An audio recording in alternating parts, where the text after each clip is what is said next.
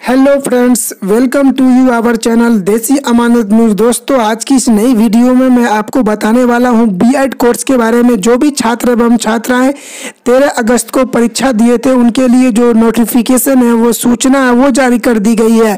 आपको बता दें, जो भी छात्र एवं छात्राएँ तेरह अगस्त को परीक्षा दिए थे और उसमें वो सफल हुए थे, उनके लिए जो नोटिफिकेशन है, वो जारी कर दिया गया है।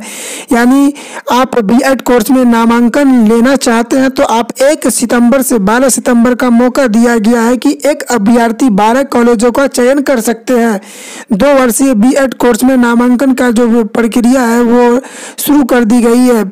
और आपको बता दें कि नामांकन जो रजिस्ट्रेशन प्रक्रिया है, उसमें जो कितने खर्च होंगे, कौन से स्टूडेंट्स के लिए, वो मैं आपको बता दूँ। तो अनारक्षित छात्राओं के लिए हज़ार रुपये खर्च होगा और वहीं ओबीसी बीसी महिला और दिव्यांगों के लिए सात सौ पचास रुपये और वहीं एससी एसटी के लिए पाँच सौ रुपये रखा गया है। तो दोस्तों, अगर आप बी कोर्स में नामांकन लेना चाहते हैं और आप तेरह अगस्त को परीक्षा दिए और उसमें आप सफल हो गए हैं तो आपका जो रजिस्ट्रेशन प्रक्रिया है, वो शुरू कर दी गई है। तो आप एक अभ्यर्थी कुछ कुल बारह कॉलेजों में जो कॉलेजों का वो चयन कर सकते हैं। ये इसीलिए दिया गया है कि अधिक से अधिक कॉलेजों का जो निर्देश दिया गया चयन करने के लिए ताकि छात्रों का जो नामांकन की प्रक्रिया वो सुनिश्चित हो सके। तो दोस्तों, अगर आप अपना नामांकन बीएड कोर्स में करवाना चाहते हैं, कम पैसे में सरकार के द्वारा जो करवाई जा रही है तो आप जल्दी से अप्लाई कर लें, क्योंकि इसके अलावा कोई दूसरा डेट आने वाला नहीं है। आपको डेट बता दें,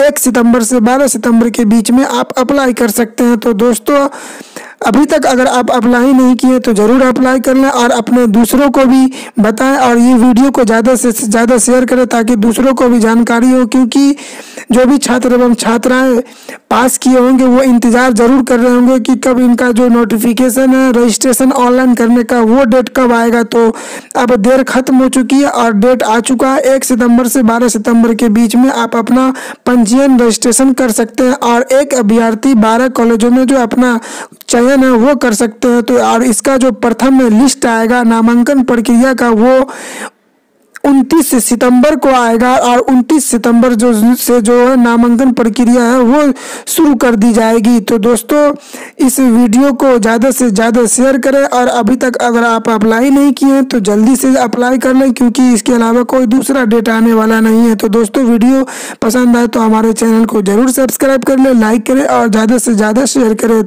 और मैं आपको दोस्तों बता दूँ कि इस चैनल के माध्यम से आपको हर तरह की जानकारी एजुकेशन पॉलिटिक्स क्रिकेट जैसी सारी जानकारी आपको इस YouTube channel Desi Amanat news के माध्यम से अपडेट करता रहूँगा। तो दोस्तों बहुत बहुत थैंक यू चल मिलते हैं अगले वीडियो में।